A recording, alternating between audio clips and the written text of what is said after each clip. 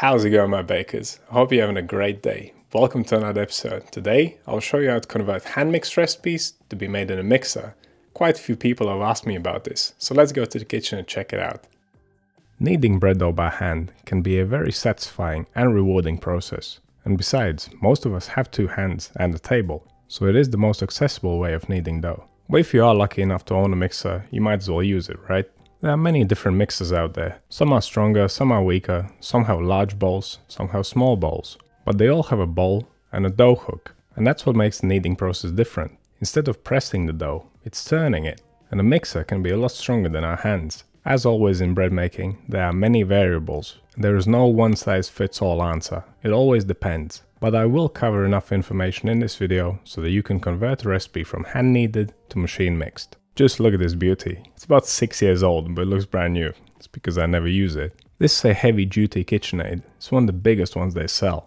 It comes with 6 speed settings and a 3.5 kilo or 7 quart bowl. Your mixer may be very different from this one.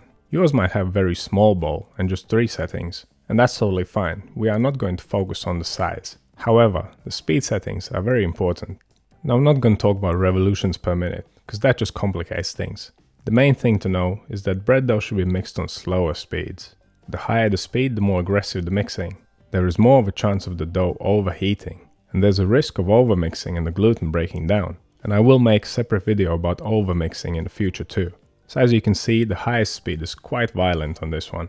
So from the 6 speed settings, I would always stick to the first two. Start the mix off on the slowest speed, and then finish it on the second speed. This makes it gentle enough to kind of replicate hand kneading. And when you look at it, first speed and second speed look very similar. So if your mixer has only 3 speeds for instance, and it goes from really slow to quite fast, then you may want to stick to first speed only. And of course in that case you may need to mix for slightly longer. I'm going to show you how it works on my mixer, so you get a good idea and a baseline to work from. First let's get back to hand kneading for a second. In order to convert a recipe, you need a recipe, right? So this will be a pretty standard 65% hydration white bread dough. Now if you are able to knead dough by hand, then you should definitely learn to do it. Using a mixer takes away that tactile experience, and you cannot feel the dough developing over time. Remember, the mixer doesn't make the dough for you, it just helps you. You're still in charge of the outcome. And if you don't know how the dough should feel, how would you know when it's ready? Okay, so at 64% hydration, I would knead this kind of dough by hand for about 6 minutes. So let's set the timer and see how the dough develops over time. At the halfway point, it's pretty cohesive. It is not a shaggy mess anymore, it's not as sticky as it was before.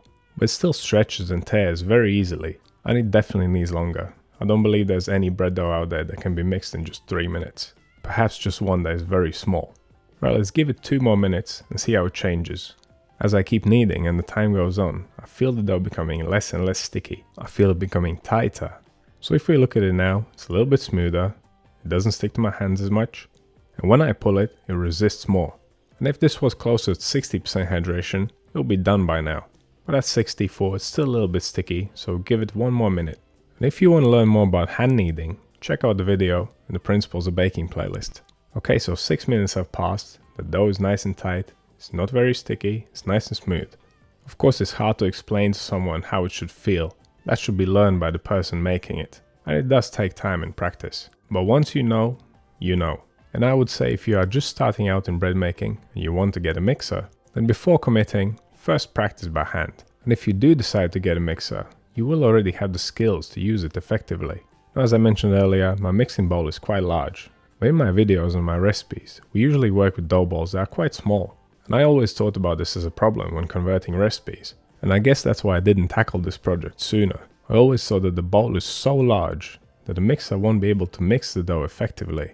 And perhaps the dough hook might not be able to reach the dough. So let's try and make the same dough in this huge mixing bowl. Now whenever I've made dough in a mixer, or have seen anyone else make dough in a mixer, this would be the way that it's done. You would add all the ingredients, bring the bowl to the mixer, pop the dough hook in, lift it up, switch it on, and just leave it to mix. We'll follow the exact same timings as in the previous recipe. We'll mix for 3 minutes, check the dough, mix for 2 more minutes, then check it again, and then give it 1 more minute. Straight away we can see an issue. When mixing by hand, right from the first second, we were kneading the dough. But with the mixer, it's been already 3 minutes, but it has not picked up all the ingredients yet. So this is definitely not a good method. whether you're converting a recipe or you're writing a brand new recipe. I'll still finish the mix and we'll see what we get at the end. Whilst this is going on, let's talk about one more important thing, temperature control. I have found that my mixer warms up the dough at pretty much the same rate as my hands do.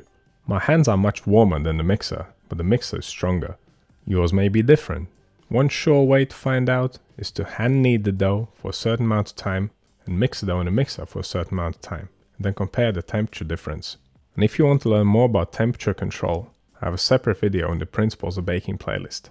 I would say if you want to convert a recipe, don't play around with it too much. Just convert it, use the same temperatures as you would for hand kneading, then see how it compares. It's always good to set a reliable baseline to work from. Right, so the 6 minutes are up. The dough looks pretty good, but that is only because I switched to a higher speed. And that is where things can go wrong. It took so long for the dough hook to pull the ingredients together that I had to increase the speed to stick to the time. And as I said earlier, higher speeds equals more temperature and the risk of destroying the gluten. We need a more reliable way of converting a recipe. And for that we are going to use the same principles as we did for hand kneading.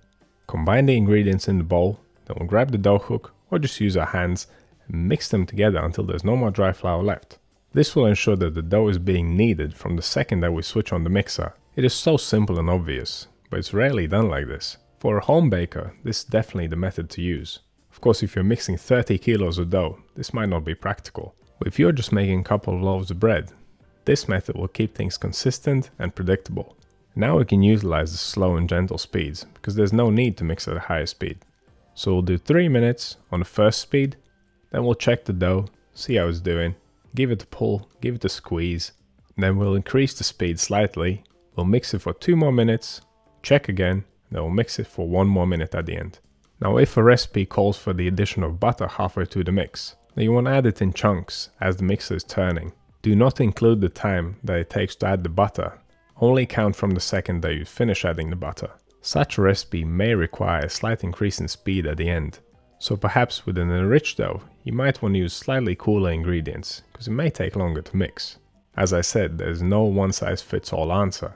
If you learn to feel the dough by hand, then you can also learn to feel the dough as it's made in a mixer. If you want to add extra ingredients like olives or dried fruit or cheese perhaps, then add those ingredients about 30 seconds before the mix is finished. Okay, so here we are. This looks and feels very similar to the first dough that I made by hand. So I would say this is a successful conversion from hand mixing to machine mixing. This is of course just one example. Other recipes have other requirements, different ingredients and different ratios. But we have a very good baseline to work from. So if you want to convert a recipe from hand mixing to machine mixing, especially if it's one of my recipes, then first mix all the ingredients in the bowl until there's no more dry flour left, then bring the bowl over to the mixer Mix the dough on the lowest speed for half of the time given in the recipe. Then finish the other half on second speed. This way you don't have to mess around with changing timings, just follow the given times in a hand kneaded recipe. Follow the same temperature control. And if it turns out a little bit off, one way or another, then go back and adjust. And don't forget to read the written article on my website link below. I always write down information that I forgot to say in the video. I hope you found this useful, and I do hope you will try and convert some recipes to be made in Mixer. Let me know down in comments how it goes. If you want to see more videos like this one, click over here. Subscribe to the channel, click right here. That's all I have for you today. Thank you so much for watching, I'll see you in the next one.